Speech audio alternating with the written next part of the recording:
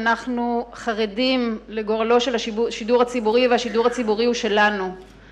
הוא לא של אף ממשלה נבחרת ושל אף פוליטיקאי הוא שלנו. ה-BBC שנכשל קשה אחרי שהוקם ה-ITV אחרי שנים קיבל מקום ראשון גם ברייטינג וגם באיכות של התוכן. וכך קרה גם בגרמניה וכך קרה גם בצרפת לשידור הציבורי דווקא מול השידורים המסחריים. כלומר יש דרך לעשות את זה ואפשר להאמין בדרך הזאת. היום בערוץ 2 כל התוכניות בין 11 בבוקר לחמש אחרי הצהריים הן תוכניות שקנויות על ידי גופים מסחריים והם מכתיבים שם את התוכן נקודה.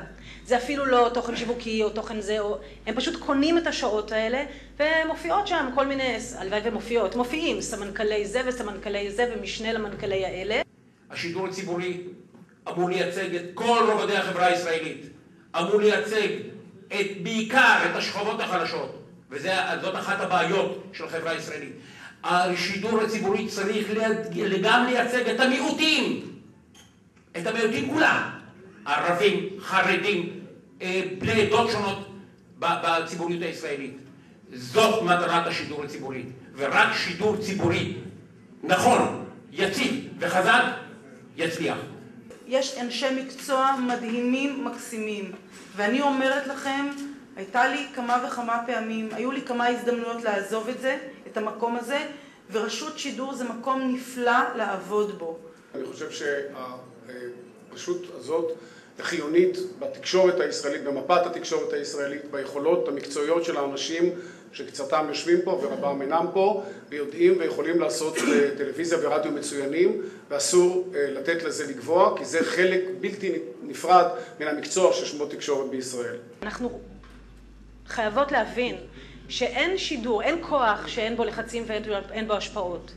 אבל אנחנו חייבות וחייבים באמת כאזרחים שיהיה לנו מקום שהלחצים עליו ממקום אחר ולא מבעלי הגופים המסחריים שאצלם רוב הכסף. השידור הציבורי הוא אחד הדברים היחידים, אחד המוסדות היחידים שהמס שאנחנו משלמים אמור ללכת ישירות אליו הוא לא אמור לממן שום דבר אחר חוץ משידור ציבורי וכל עוד זה לא קורה אנחנו פה כדי לשנות וזה אחד הדברים שעליהם אנחנו כארגוני החברה האזרחית נילחם ונעשה.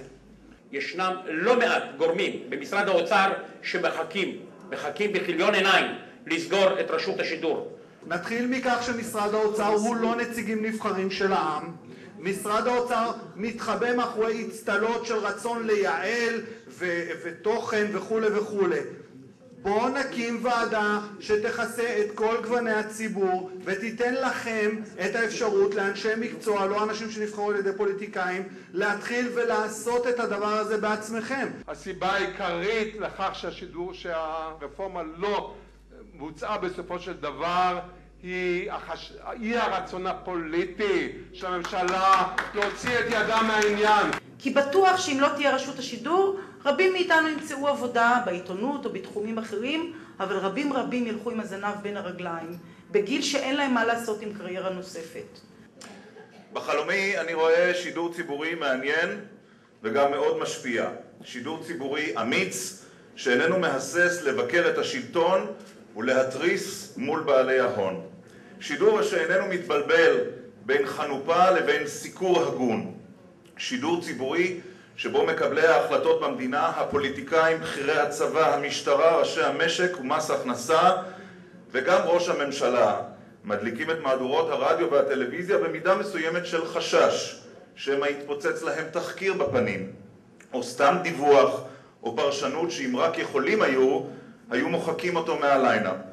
יש בלבול בין רשות השידור לבין השידור הציבורי ובצדק משום שחוק רשות השידור כמו שהוא היום מדבר על שידור ממלכתי לא על שידור ציבורי ולכן ממשלת ישראל באמת צריכה להעביר את חוק רשות השידור המתוקן ולהפוך אותה את רשות השידור עצמה לרשות שיכולה לעשות שידור ציבורי לא ממלכתי, לא מחויב, לא פוליטי, שידור ציבורי. כל ההצעה שלי היא הקמת ועדה ציבורית מתן אפשרות לרשות השידור הציבורי לנהל את עצמה, כולל הכספים שמגיעים לה בתור אזרח וכולנו משלמים את האגרה. הכסף הזה צריך להגיע ישירות ולא דרך תיווך של משרד האוצר. בזאת אנו מכריזים על הקמתו של מטה מאבק שבו יהיו שותפים החברים שעזרו כאן, שבו יהיה שותף כל מי שרק אכפת לו השידור הציבורי, בהובלה של האגודות, איגוד העיתונאים הארצי והאגודות של ירושלים ותל אביב. אגודת ירושלים היא זו שמנהלת בשם העיתונאים את המשא ומתן, וביום ראשון אם לא תהיה הודעה אחרת, ביום ראשון משמרת מחאה מול משרד ראש הממשלה, כי מי שצריכים לדבר מולו זה ראש הממשלה בנימין נתניהו.